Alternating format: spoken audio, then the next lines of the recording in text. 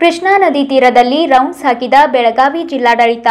ಬೆಳಗಾವಿ, ಮಹಾರಾಷ್ಟ್ರ, ಕೊಂಕಣ ಭಾಗದಲ್ಲಿ ಭಾರೀ ಮಳೆ ಸುರಿಯುತ್ತಿರುವ ಹಿನ್ನೆಲೆಯಲ್ಲಿ ಬೆಳಗಾವಿ ಜಿಲ್ಲೆಯ ನದಿಗಳು ಉಕ್ಕಿ ಹರಿಯುತ್ತಿವೆ.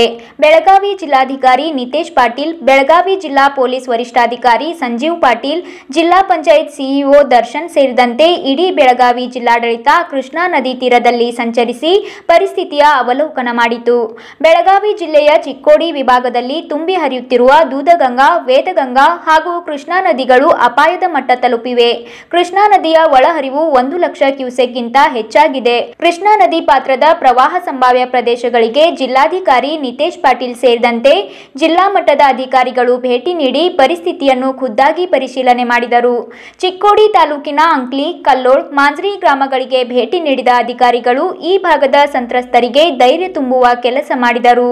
ಕೃಷ್ಣಾ ನದಿ ಪ್ರವಾಹ ಉಂಟಾಗಬಹುದಾದ ಗ್ರಾಮಗಳಿಗೆ ಅಧಿಕಾರಿಗಳು ಭೇಟಿ ನೀಡಿ ಪರಿಶೀಲನೆ ನಡೆಸಿದರು.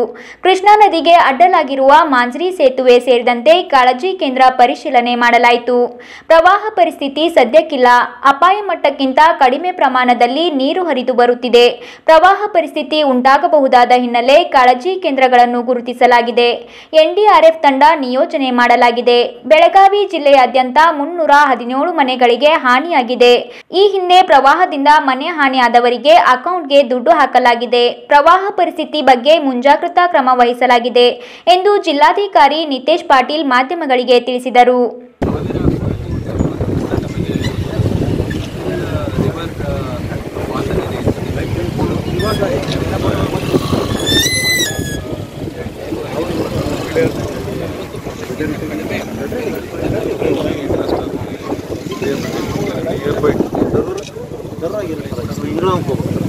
ದೂರ ಹೋದ ಸತ್ತಾಗ್ರ ಹೋದ ದೂರ ಆಗ್ತದೆ ಅದು ಬಿಡ್ತಾರೆ ಕೌಟ್ಕೊಂಡು ಒಳ ಹೋಗುತ್ತೆ